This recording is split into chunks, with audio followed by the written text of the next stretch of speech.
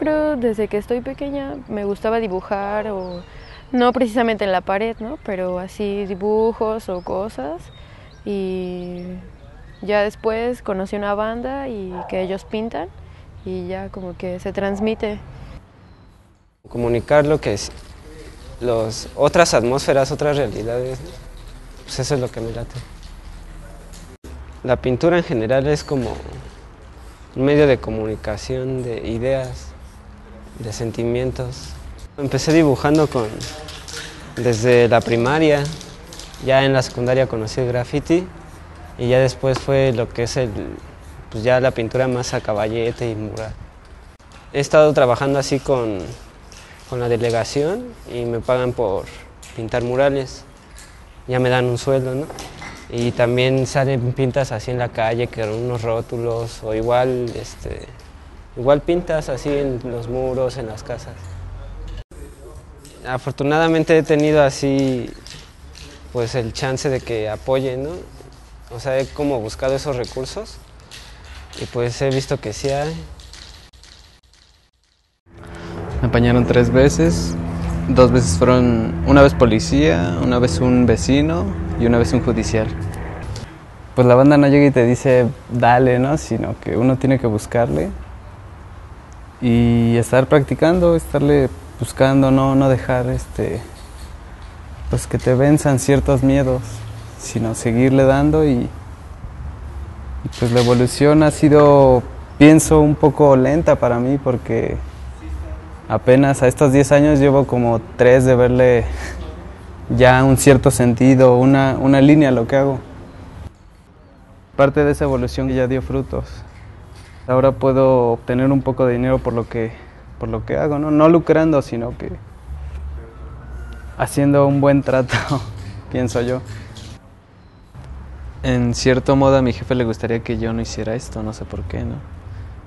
Está viendo mi desarrollo y está viendo que ya evolucioné y, y puedo ganar un poco de varo por esto, pero no le quita la idea, no sé, él quiere que sea otra cosa. Empecé haciéndolo por amor al dibujo. Nunca pensé ser un grafitero, ni utilizar un aerosol, ni un pincel, ni nada de eso. Este, un día, pues, sinceramente lo encontré y me agradó, me gustó. Ya para mí no es un arte, ni forma de expresión, ni contra el gobierno, ni nada de eso. Simplemente es amor. Y es parte ya de mí. Es, es mi mejor droga.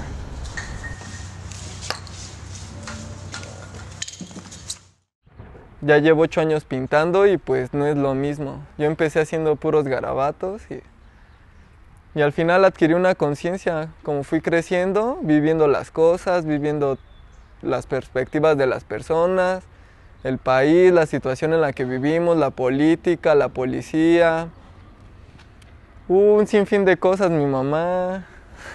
Al principio no le gustaba, pero porque estaba muy expuesto. Yo creo que el graffiti siempre ha expuesto a la gente a conocer otras cosas, ya sean malas o buenas. Vas conociendo, vas conociendo, conoces, conoces.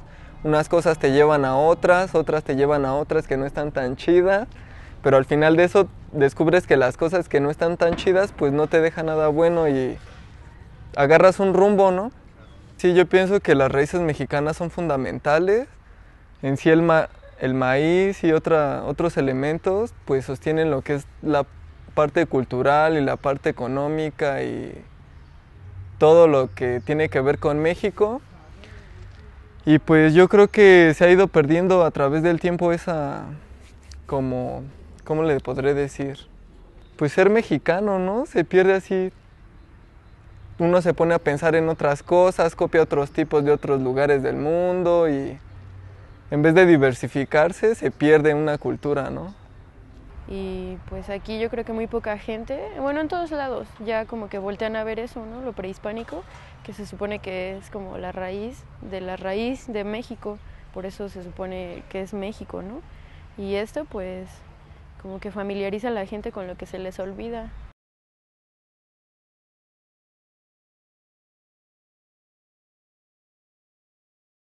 Tú te duermes, yo vivo mi sueño, sí o no. Yo no acelero, pero tampoco le piso el freno. Haría millones de canastas si esto fuera baloncesto. Conecto las cabezas y dicen que sí al mismo tiempo. No necesito un escenario para cantarte mi rima. Porque mi tarima es la banqueta de la esquina. Donde pinto, fumo y rimo con la gente que me estima, me anima. Pues aquí no hay cavidad para la envidia.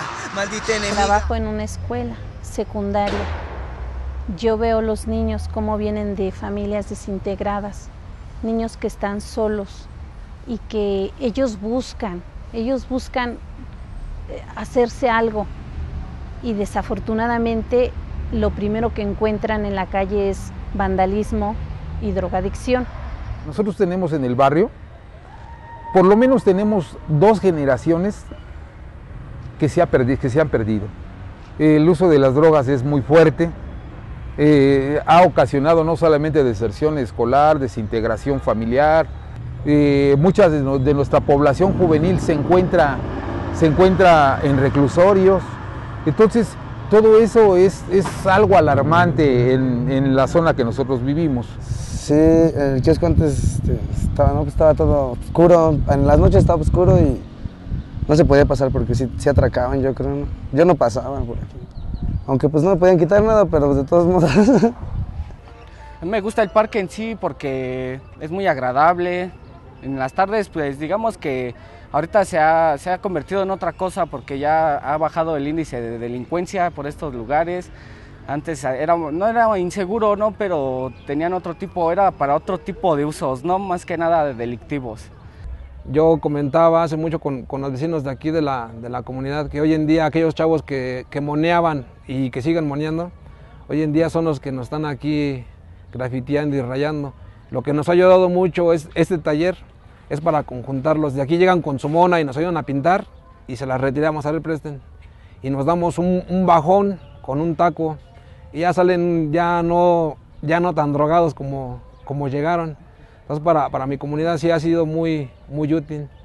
Eh, yo, yo sí quisiera comentar y, más que nada como resaltar de que gracias a la intervención de- del rescate del kiosco, hoy en día vienen chavos de otras colonias. Chavos que no tenemos el gusto de conocerlos, pero se están integrando en base al, al proyecto de cultura del rescate del kiosco. Vienen chavas con sus aros en la noche aquí prendidos con lumbre, chavos igual con sus malabares igual prendidos.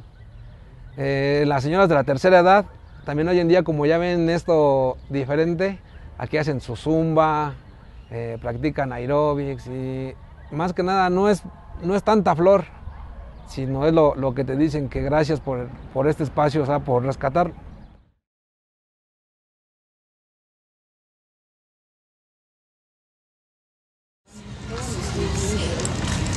Mira, este va a ser un dragón, mira, ¿ya viste? Realmente es como la idea de, de rescatar paredes, que en este lugar pues la verdad estaba como que medio deprimente pasar. Y eh, pues en realidad se, se quiso hacer ese cambio pues para que precisamente la atmósfera fuera de otra forma y eh, también hacer conciencia en los vecinos de que el graffiti no siempre expresa algo malo, ¿no? Yo cuando les dije, va a ser este, van a venir a pintar la gente, ¡fum! como gato o faldero, se, se erizaron y dijeron, ¿cómo crees que, que la fregada si todo te está rayado y la fregada? Dije, es que no va a ser rayado, van a ser murales, pues te vuelvo a repetir, en el inicio sí dijeron, chale, están pintando, mejor pues píntenla de, de color, la bardas y todo eso. Les dije, no, dejen que trabajen los chavos y ya posteriormente me dicen si está mal. Hay molestias por ese lado, pero también hay quienes están acercados y dicen, no, pues qué bueno, ¿no? Este, ahorita estarían haciendo otra cosa, viendo la tele, haciendo nada, este, con los cuates por allá, este, dando el rol quizá, que tampoco está mal, pero, pero bueno, están conviviendo, aprendiendo a, a relacionarse de otra manera, que es lo que intentamos un poco. Bueno, al principio teníamos este, ciertas eh, rechazos de algunos vecinos y todo, pero al empezar a ver el trabajo que se está haciendo con los chavos, hemos tenido una aceptación bastante positiva. De hecho, la gente llega y te felicita, felicita a los chavos, dicen qué bueno, dice da seguridad pasar por aquí por el pasillo, no nos da miedo, no que estaba todo este rayado y, y decadente y nos daba miedo, dice, y ahorita pues ya pasamos con más gusto y hasta nos quedamos a ver el pasillo. O sea, hemos convivido todo tipo de personas y hemos intercambiado ideas. Y la gente, eso, no sé, como que lo ha proyectado también. Lo ha proyectado tanto el equipo de trabajo que tenemos como la gente, los vecinos.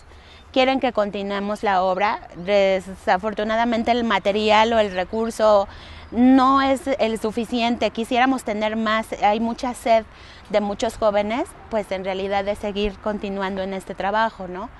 Los vecinos hoy en día que pasan por aquí ya les es, les es tan agradable que quieren seguir pasando y hasta regresan y, ya eh, propiamente a veces creo que ni en sus problemas piensan. Vienen viendo el mural y eso es importante porque yo creo que la idea se las estamos proyectando a ellos. Se ve mucho mejor, ya, ya luego se da miedo pasar cuando está todo feo, todo grafiteado feo. Así se ve mucho mejor, da mejor presentación. Aquí a la gente, a la comunidad, les ayuda mucho porque ya ven cosas nuevas, no ven letras, no ven este, este tipo de letras que ni se entienden y banda de no sé qué. Entonces yo creo que culturalmente es muy importante que hacen este tipo de dibujos, ¿no?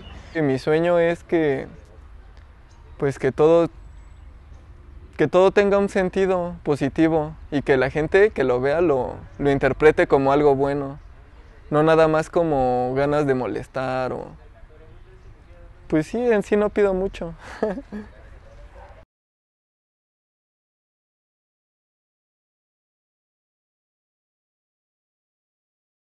Ahí tuvimos la oportunidad de conocer a, un, uno de los grafiteros más consagrados que hay ahorita y, y pues las cosas que, que, nos platican, ¿no?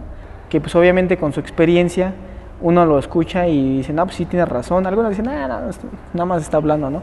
Pero a veces cuando ponemos atención a, cierta, a ciertas cosas nos damos cuenta de que no están tan apartados de la realidad y que por algo lo dicen aprendes mucho también de los demás. Viendo cómo pintan los demás, también tú aprendes a hacer más cosas. Y dices, ah, por eso no me sale esto, ah, por eso esto es así.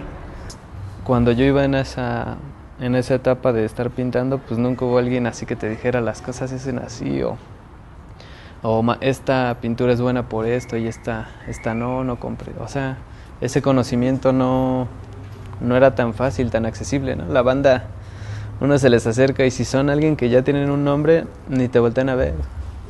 Hasta la fecha. Eh, el proyecto es graffiti y mural.